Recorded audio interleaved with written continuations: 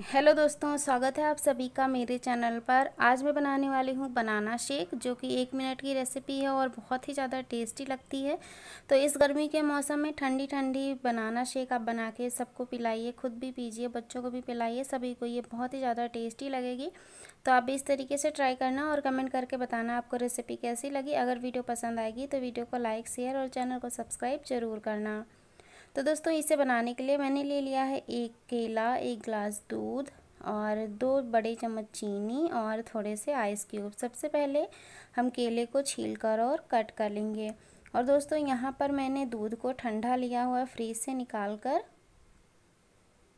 अब हम सारी चीज़ों को मिक्सी के जार में डाल देंगे। तो मैंने इसमें डाल दिया है केला, फिर हम आइस क्यूब डाल दे रहे हैं और चीनी आप अपने टेस्ट के अकॉर्डिंग कम ज़्यादा कर सकते हो। मैंने दो चम्मच इसमें चीनी डाला है और दूध डाल दे रही हूँ और इसको हम अच्छे से ब्लेंड कर लेंगे।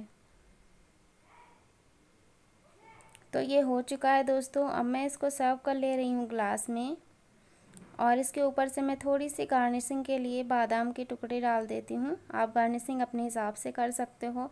और बस लीजिए, तैयार हमारा ठंडा ठंडा बनाना शेक। तो इस तरीके आप भी बनाना और बताना कैसी बनी। और अगर आपको आज की वीडियो पसंद आई है तो वीडियो को लाइक करें, शेयर करें और साथ ही साथ चैनल को भी सब्सक्राइब कर दें। Thank you so much. Thanks for watching today's video. Bye bye.